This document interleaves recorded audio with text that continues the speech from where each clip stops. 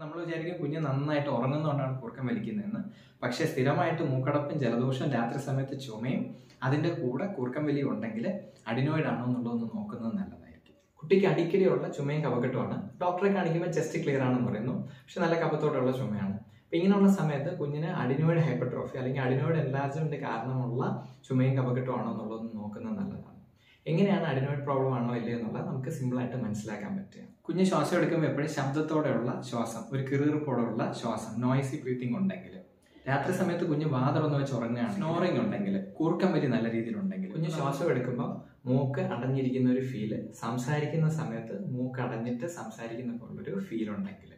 പിന്നെ ഉള്ളത് വിട്ടുമാറാത്ത മൂക്കൊലിപ്പ് പ്രത്യേകിച്ച് മൂക്കിൽ നിന്ന് നല്ല കട്ടിയായിട്ട് മഞ്ഞ നിറത്തിലുള്ള മൂക്കള ഇടയ്ക്കിടയ്ക്ക് വന്നുകൊണ്ടിരിക്കുകയാണെങ്കിൽ അത് അഡിനോയിഡ് കാരണം മൂക്കിൽ നിന്നുള്ള സെക്രീഷൻസ് അവിടെ കെട്ടി നിന്നിട്ട് വരുന്നതാകാം. അങ്ങനെയുള്ള സമയത്ത് നമ്മൾ അഡിനോയിഡ് ആണോ എന്ന് നോക്കണം.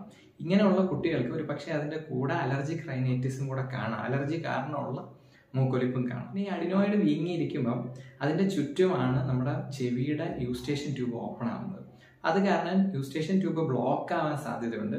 അതുകൊണ്ട് കുഞ്ഞിന് ഇടയ്ക്കിടയ്ക്ക് ചെവി വേദന ചെവിയിൽ നിന്ന് ഇൻഫെക്ഷൻ ചെവിയിൽ നിന്ന് പഴുപ്പ്.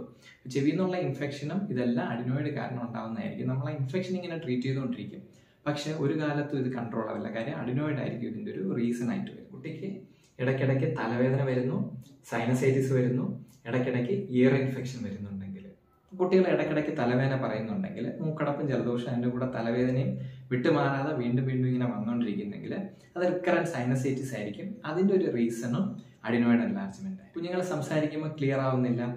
സംസാരത്തിനകത്തൊരു എപ്പോഴും മൂക്കടഞ്ഞിരിക്കുന്ന ഒരു ഫീലൊക്കെ ഉണ്ടെങ്കിൽ. അങ്ങനെയുള്ള സമയത്ത് അഡിനോയിഡ് വീങ്ങിയിട്ട് നമ്മുടെ മൂക്കിൽ നിന്ന് പ്രോപ്പറായിട്ട് എയർ പുറത്തേക്ക് വരാതിരിക്കുമ്പോൾ ഉള്ള ഒരു സിറ്റുവേഷൻ ആകാം. അപ്പം അതിനും നമ്മൾ അഡിനോയിഡ് ഒന്ന് നോക്കുന്നത് നല്ലതാണ്. വാ അടച്ചു വെച്ച് ശ്വാസം എടുക്കാൻ പറയുമ്പോൾ കുഞ്ഞിന് ശ്വാസം എടുക്കാൻ പ്രയാസം വരുന്നുണ്ടെങ്കിൽ ചെറിയ കുട്ടികളാണെങ്കിൽ അവർ ഉറങ്ങുന്ന സമയത്ത് മൂക്കടഞ്ഞിട്ട് മൂക്കിലൂടെ ശ്വാസം എടുക്കാൻ ബുദ്ധിമുട്ടായതുകൊണ്ട് അവർ തലയൊന്ന് കുറച്ച് മുകളിലോട്ട് ആക്കിയിട്ട് വാ തുറന്നു വെച്ച് ഉറങ്ങുന്നത് കാണാൻ പറ്റും. അപ്പോൾ കുഞ്ഞു കുട്ടികളൊക്കെ ആണെങ്കിൽ തല എപ്പോഴും എക്സ്റ്റെൻഡ് ചെയ്ത് വെക്കുകയും വാ തുറന്നു വെക്കുകയും ചെയ്തിട്ടാണ് ഉറങ്ങുന്നതെങ്കിൽ അവർക്ക് അപ്പർ എയർവേ ഒബ്സ്ട്രക്ഷൻ ഉണ്ടെന്ന് നമ്മളൊന്ന് ചിന്തിക്കും. അവർ വാ തുറന്ന് കിട്ടാൻ വേണ്ടിയിട്ട് കുറച്ച് കഴുത്തി ഇങ്ങനെ വെച്ചിട്ടാണ് എപ്പോഴും കിടക്കുന്നത്.